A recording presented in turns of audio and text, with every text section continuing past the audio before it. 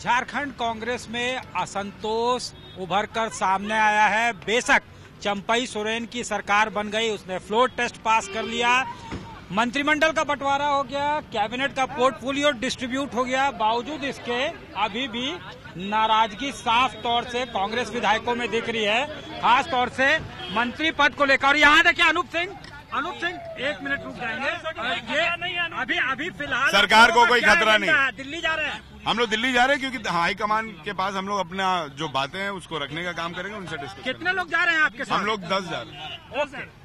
तो ये दस लोग अनूप सिंह ने बताया कि दस लोग इनके साथ दिल्ली जा रहे हैं। हालाँकि ये होटल रासो के बाहर हम खड़े हैं और यहाँ पे आठ विधायकों ने बैठक की है।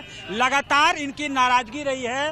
मंत्रिमंडल को लेकर इनका साफ़ तौर से कहना था कि पुराने चेहरे को ही किस आधार पे रिपीट किया है पार्टी ने। और इनसे मिलने, मुलाकात करने खुद बसंत सोरेन भी आए थे। अब देखिए यहाँ से विधायकों का निकलने का सिलसिला शुरू हो गया है। एयरपोर्ट से ये दिल्ली जाएँगे और इन्होंने कहा है कि हम लोगों ने अपनी बातें जो है वो पार्टी के सामने रख दी है, प्रदेश अध्यक्ष के सामने रख दी है। पांचवा सीट जो है, जब शपथ ग्रहण समारोह हो रहा था, एक सीट को खाली रखा गया है।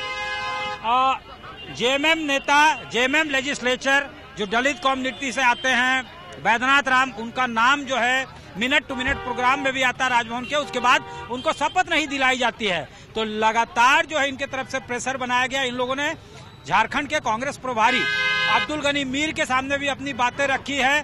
पार्टी का यह कहना है कि चूँकि वो चार साल परफॉर्म कर चुके हैं तो असेसमेंट आखिर जो है, और चुनाव में अब समय नज़दीक रह गया लोकसभा के चुनाव में, इसलिए उन्हें ही मौका दिया गया है। कोई पार्टी ने नया चेहरा इंडक्ट नहीं किया है।